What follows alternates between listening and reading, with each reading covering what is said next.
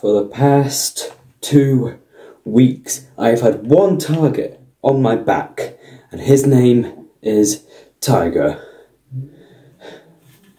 And ever since I won this Intercontinental Championship, he seems to be attacking me every day. On camera, off camera, he is always coming after me and no one else out of the whole entire roster. He could go after Invictus, he could go after Dracula, he could go after Max. Max B. Smith would be more reasonable. He's the one, he's the, he's the reason why he's wearing a mask right now. Me? Why me? But then again, being the Intercontinental Champion, you need to have some challenges. But it doesn't really make sense anymore because he is the World Heavyweight Champion. And congrats to him, I guess. He did beat me. He made me submit, which someone has not done in quite some time.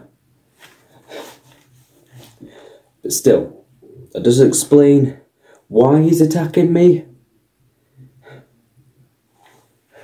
But I'm just going to guess that it is because of this.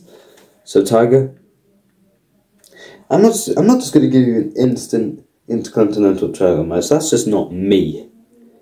But I will give you a match if you accept my challenge. No holds barred. Except for my title on the line. How about you put yours on the line?